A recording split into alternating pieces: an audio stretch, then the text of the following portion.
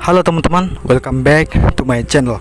Di video saya kali ini, saya akan memberikan 3 tips cara melatih otot back dengan media dumbbell dan juga barbell teman-teman. Latihannya sangat simpel dan sangat cocok untuk pemula dan bisa dilakukan di rumah tanpa harus pergi ke gym. Oke. Jadi setidaknya otot back kita akan jadi seperti ini ya teman-teman.